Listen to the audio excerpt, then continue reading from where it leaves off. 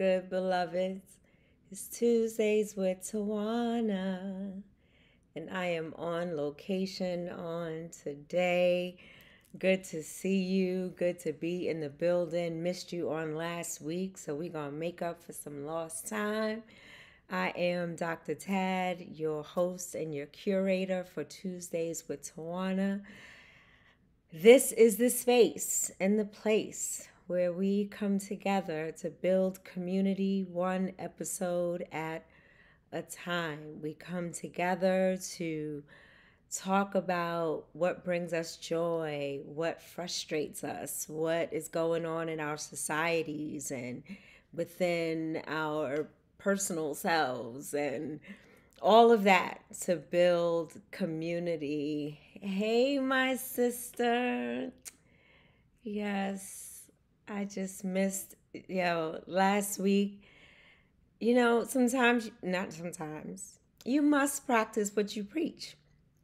And I needed to rest, rest my mind, my body, my soul, um, knowing that the month of October uh, tends to be a very busy month for me Hey, what's up, Alan? Good to see you. Blessings to you, beloved.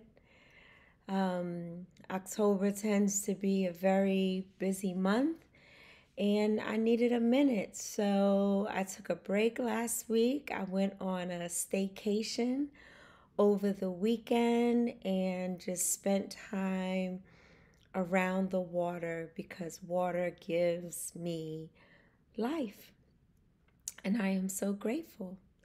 So we're having a what? Where's Waldo moment? Um, where is Dr. Tad? I'm on location at a secret location. Can't tell you. Uh, can't share the details, but know that I am safe and I am in a beautiful space, and have some time to chop it up with you for a little while before we uh, I take care of business um, with some beloveds. So.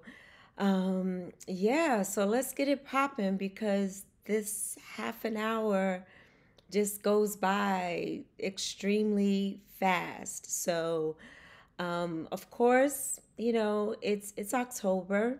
October comes with a lot of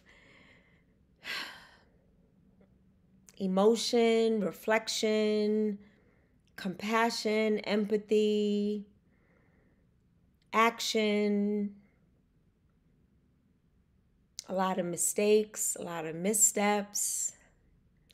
So it's Breast Cancer Awareness Month and Domestic Violence Awareness Month. And I represent both. I am diagnosed with HER2 positive metastatic breast cancer in active treatment, and I am a domestic violence survivor, both in which I am thriving because of community, because of my love for self, because of the care that I, um, the, the care that I take for myself and for others. Uh, I tell my story so that someone can take pieces away from it and learn and be encouraged and be empowered, whether you are surviving breast cancer or mourning the loss of a loved one or a caregiver, family, whatever it is, it's creating this sacred space for us to get together and talk about it because as you see, our theme or our topic for today is stop the violence and the silence. Tanisha says that uh, can I petition for a 45 minutes? TWT 30 minutes isn't long enough for your beauty, grace, intellect, and magic. Thank you, beloved. Uh, takes one to know one for sure. Hey, brother, good to see you. Glad you are in the building on today. So, for those of you who may be joining or listening later for the first time or watching later for the first time, um, what I do is, you know, I am not speaking for the full 30 minutes, aka 45 minutes. but um, you put comments in the chat, and I insert your voice into this narrative because I can't build community alone. I, I need I need others. I need other beloveds. We need each other. We need beloveds in order to build community, to heal in community, to combat the systemic ills, to combat d- domestic violence. And I guess combat might not be the most appropriate word to use when we're talking about domestic violence because sometimes our language can be a bit abusive and a bit triggering to uh, domestic violence survivors. Like, fighting for my life. That is a literal statement for some folk, some beloveds. And, you know, um, yeah, so just being mindful and and and being aware of the language that we use and using October to plant those seeds to uh, expand our minds and expand our uh, empathetic and compassionate language when we are speaking about domestic violence in particular. I choose during this month to talk about domestic violence because um, we find that uh, breast cancer, for some, for many, in my experience and what I notice, it's much easier to talk about because it is environmental or it's hereditary.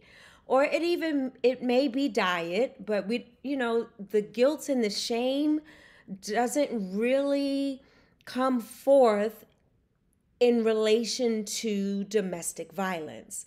Um, you know growing up in in my community i identify as a black woman and grew up in a black and brown neighborhood. And I remember when we wouldn't even say the word cancer, let alone have these advocacy groups um, coming together to talk about cancer and to talk about how it's adversely impacting black and brown beloveds, specifically breast cancer, specifically black women, because 41% of black women, 40 to 41%, depending on what um, platform you're looking at that has factual numbers because Google is great and everything, but not everything you see um, you can believe, and not everything you read is true.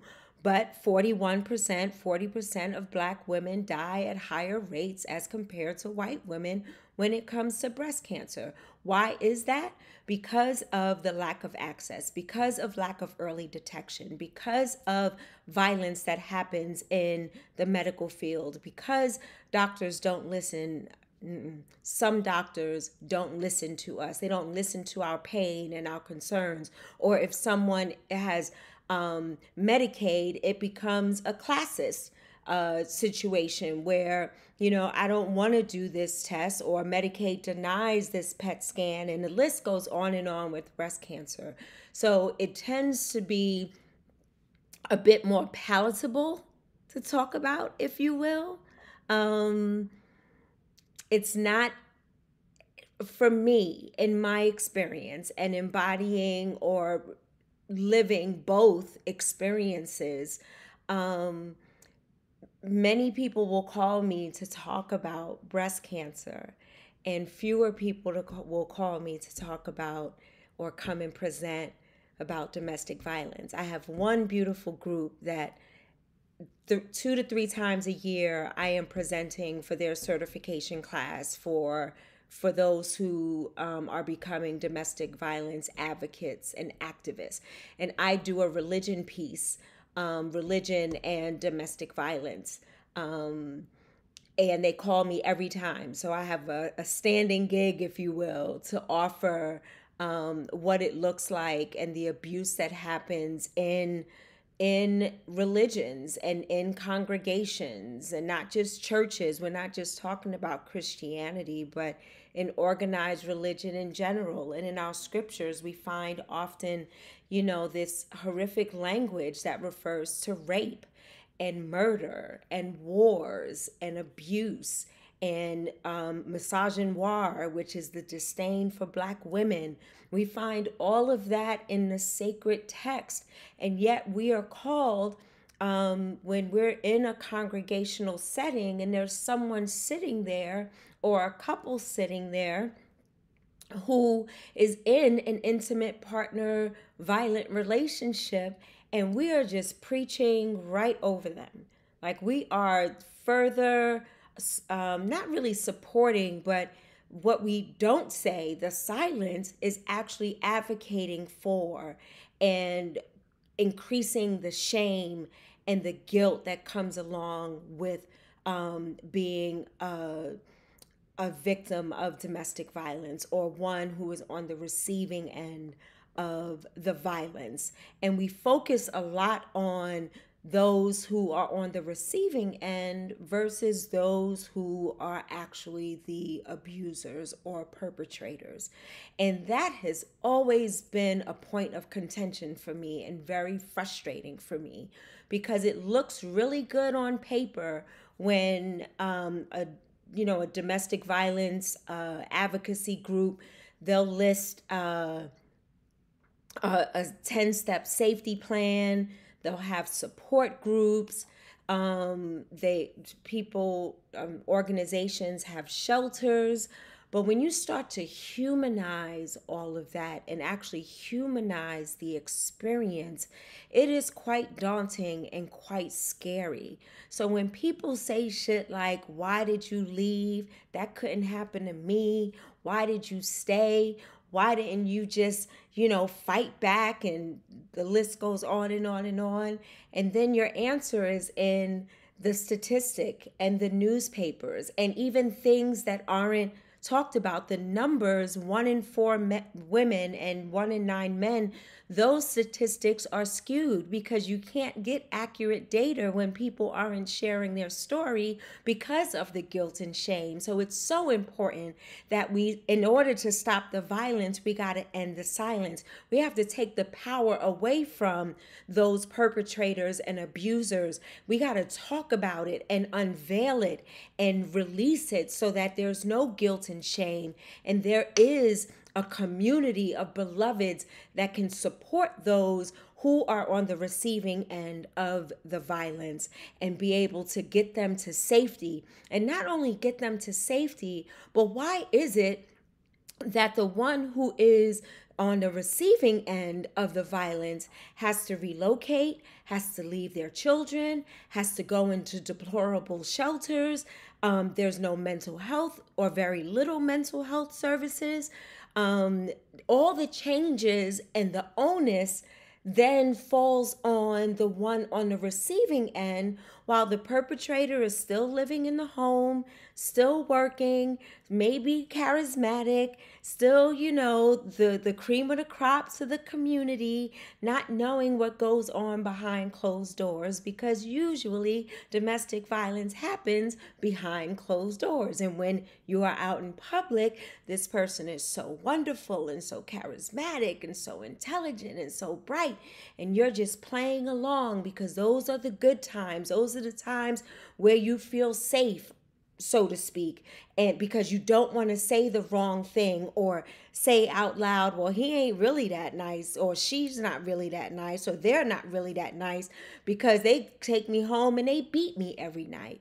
Or there's a financial abuse where I my paycheck gets taken every week, every two weeks, every month, and I get a little allowance because I am not allowed to go anywhere or do anything.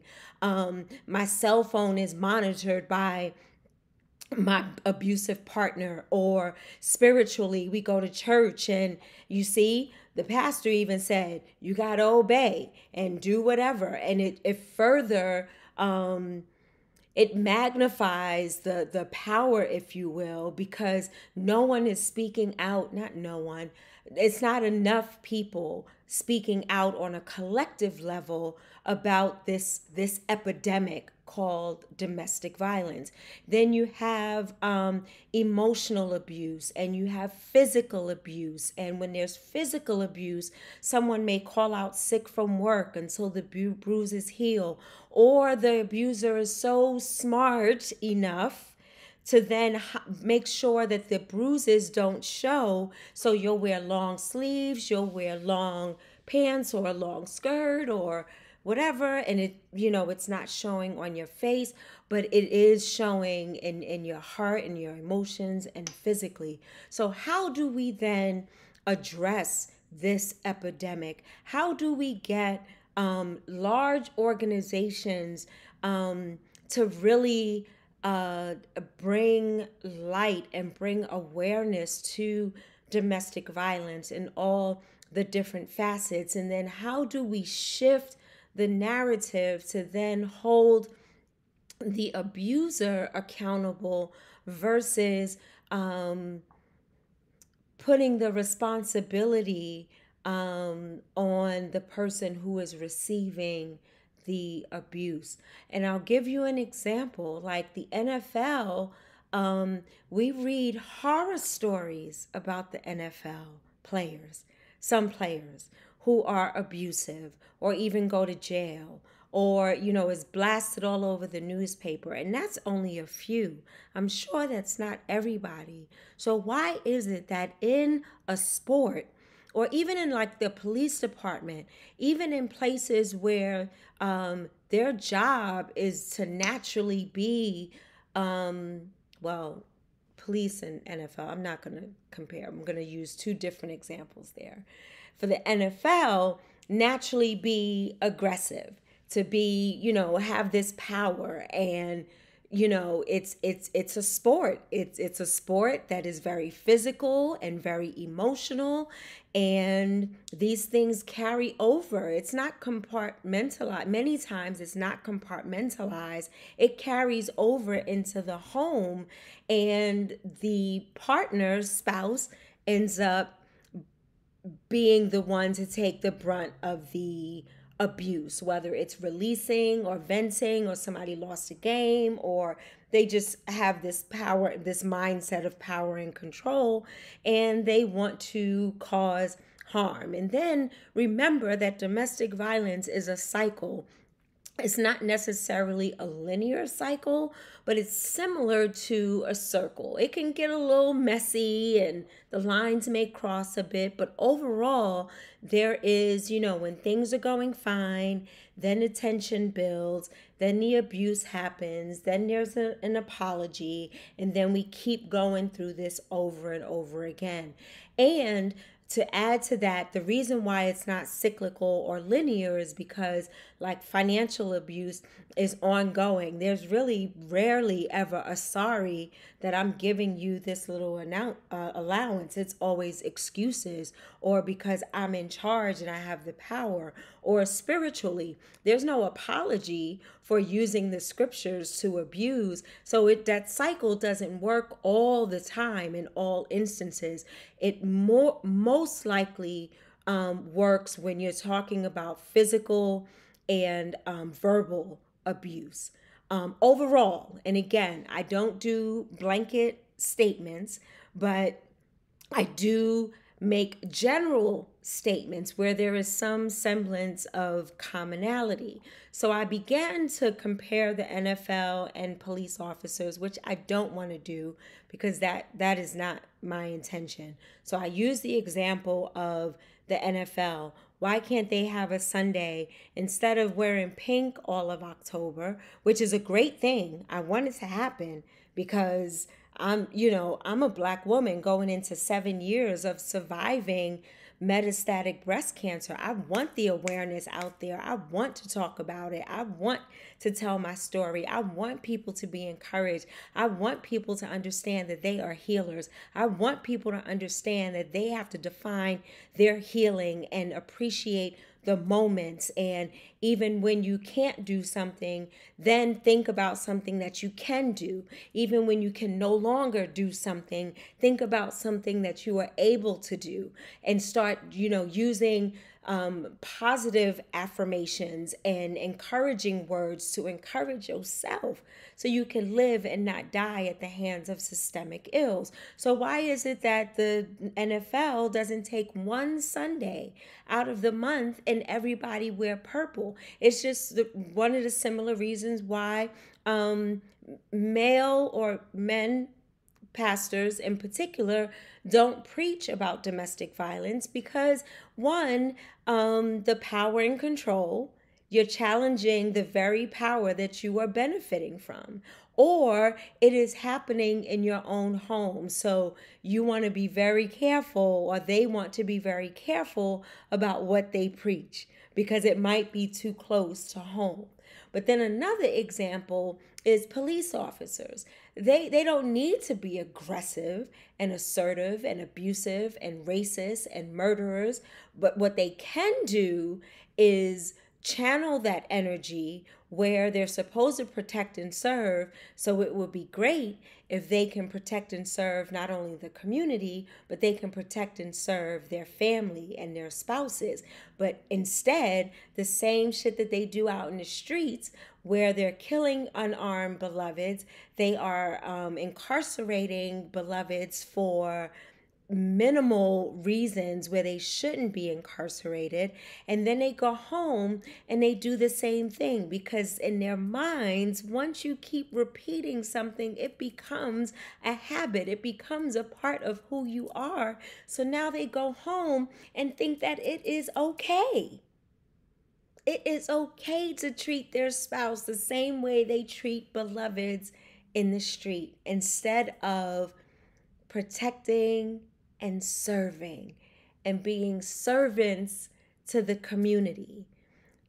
And, you know, my beloved Courtney Anika, um, who is the Associate Director um, of Organizational Wellness with Soul to Soul Sisters, she has a beautiful, beautiful presentation on the police and how the police was started and how that same um, mindset of enslaving folk and abusing folks who were enslaved is still carrying on um, to this day. We may not be considered enslaved, but racists think that we are less than, or they de- dehumanize us and demean us and marginalize us and oppress us. So the abuse is happening not only in our homes, but when we talk about domestic violence, think about the domestic violence that is happening here in this country, where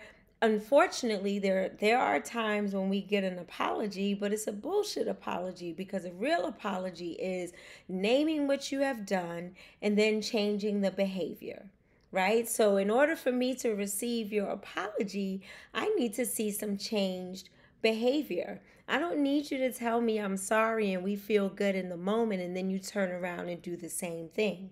And then why is it so hard for women to leave? Or, excuse me, beloveds to leave? Because this happens in um, men. For, men are also victims or receivers of abuse in non binary fem relationships, um, gay, lesbian, transgender, queer it happens to us more often, black beloveds, more often than any other group except in our indigenous First Nation beloveds. So when we think about, um, you know, where it's happening, like it's happening all around us, but and we got to hold on to, or at least take it piece by piece. Start with our communities, start with our homes, and then to our communities, and then to our outer communities like our state, and then we can take it and bring it to a nationwide level. Until then, if we don't deal with the personal stuff, I can't give what I don't have, I can't teach what I don't know. Um, so it's so important that we take care of home and make sure healing happens and um, safety and protection and better responses to domestic violence all of that. And it's a lot. It's a lot. I i it's a lot. And i'm i'm talking from personal experience how it is a lot. A safety plan is great but to implement that safety plan is if you don't have a village Like, if I didn't have a place where I could move to and hide my car and have my classmates go with me everywhere so I didn't have to be by myself, if I didn't have people coming with me to the courthouse to witness, I was shamed by the judge, I was shamed by the court clerks. You you got to be ready. You got to be armored up. You got to be girded up. You need community. So, how do we get community to stop being silent about this and stop being so negative and so demeaning and so degrading to people who are in domestic violence relations, violent relationships? We got to stop the violence. And in order to stop the violence, we got to end the silence.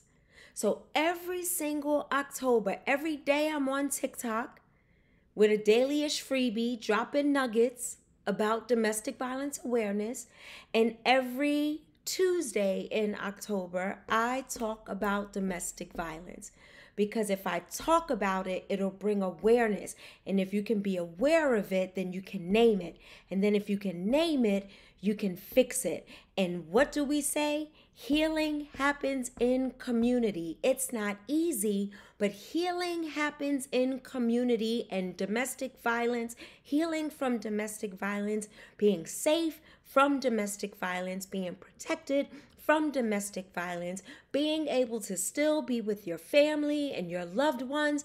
All of that happens in community. So, we as a community must learn a language that is different from blaming, further victimizing, gaslighting, doing all the things that make the person who is receiving the abuse shameful and not want to say anything. Because I, I don't have anyone to have my back. I don't have anyone to support me or to protect me. Because that's another thing. It's important for all of us.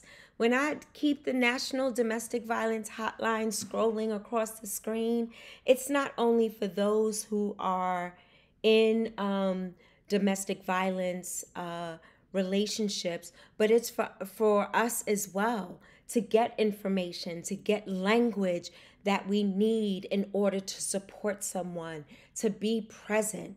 The, the, the ministry of presence, of support, of seeing somebody and acknowledging like this is not your fault. You you you don't deserve this. I don't care who you are what you do how you show up in the world.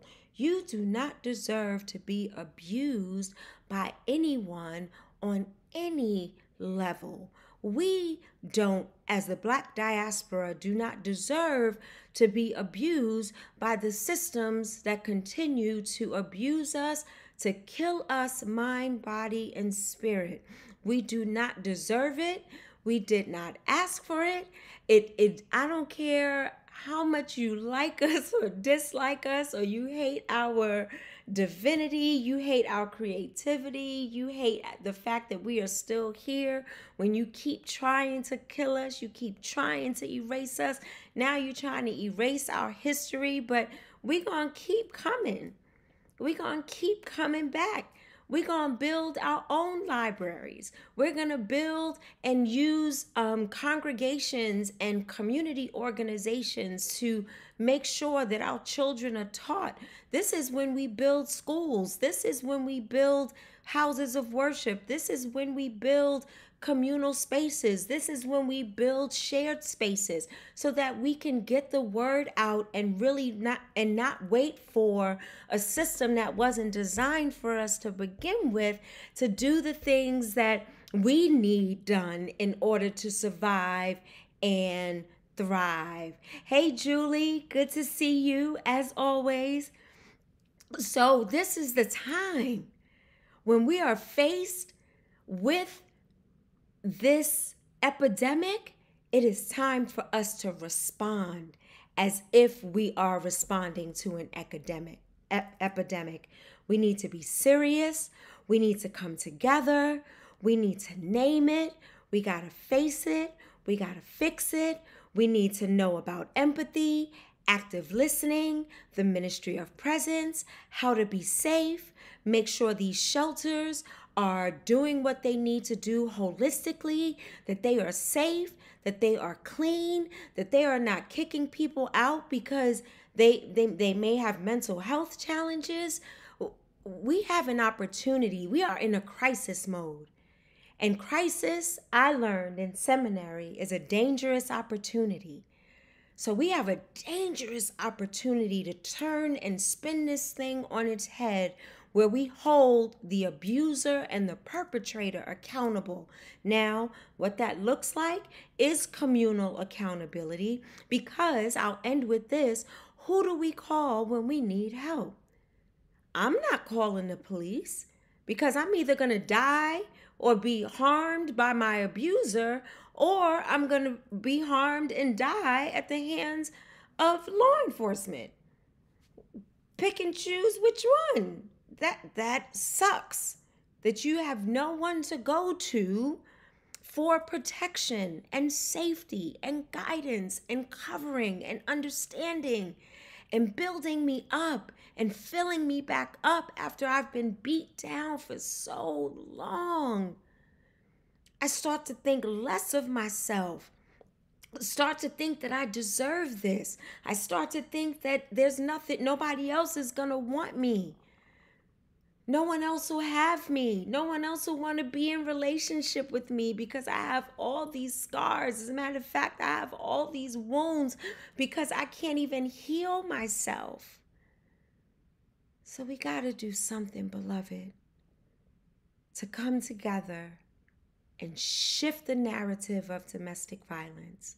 For the rest of this month, we will have special guests come on and and and we're gonna keep talking about this. Um we're gonna start a movement for the nfl to give me give me one sunday. That's all i'm asking for. I really want the whole month. But i understand because i need breast cancer awareness to happen just as much as domestic violence awareness is happening one should not be higher than the other because of societal perceptions of both epidemics right? It's it's it's an epidemic when 41% of black women are dying at a higher rate than than white women. So i hope that this was helpful. I hope that um, you will share this with beloveds because sometimes it's hard to get the message out because those who are in domestic violence relationships, their phones are screened, their computers are screened. So sometimes you got to take your beloved out to dinner and have a conversation, and it all has to stay up here. It can't be written down, you can't take it in notes on a phone. You you you got to be real creative because you don't want to do anything that is going to cause further harm to the one that's being abused or cause harm to yourself. Like, why is Tawana in our business? I'm going to go holler at her because I know where she lives. I see her on social media all the time. And who is she to say? Because we can't think um, a person is is not think an a rational person is not thinking rationally. so we can't rationalize with those who are perpetrating abuse. There has to be a different approach and a different system that happens that holds them accountable that really doesn't include the police you can Google it. This is what I'm now I'm telling you to Google it. You can Google so many people who have um you know gone to to help and break up fights or whatever and they end up dying. There was a, a teenager, I think, recently who was breaking up a, a fight between uh, a couple, her friend and her her boyfriend, and she ended up getting killed. A while ago, there was a, a brother who you know, pulled over, saw this man, you know, abusing this woman, and he ended up being killed. So we got to be wise. We got to be communal. We got to share information because not every situation is going to be handled the same. So, with that, I hope that you will reflect and meditate and just think about what can I do to stop this epidemic? What can I do to help save the lives of those who are in abusive relationships? And how can I build community so that this can end and people can stop dying, um, mind, body, and spirit, um, due to domestic violence? So we will stop the violence when we end the silence. Thank you for listening. Thank you for being here. I hope this was helpful. I hope that there were some takeaways. I hope you have a new language about addressing domestic violence. Um, I hope that there you leave here with a level of discernment because I want you to be safe and I want you to be well. I want you to use the domestic domestic violence hotline as a resource, um, not only for you but for those who are in intimate partner or domestic violent relationships. And I want you to love. I want you to love more than enough. Love yourself and love others beyond measure, without judgment. Uh, yes, Marcia, don't forget prayer. Prayer changes things.